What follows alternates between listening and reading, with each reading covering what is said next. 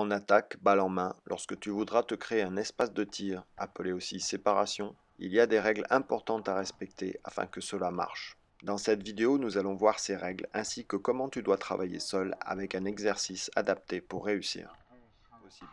Tu veux connaître la suite afin de progresser? Écris-moi sur YouTube, Facebook Messenger ou directement sur mon site web sur Coach David Bonnel. Et n'oublie pas, ton mentor basketball sera toujours là pour toi.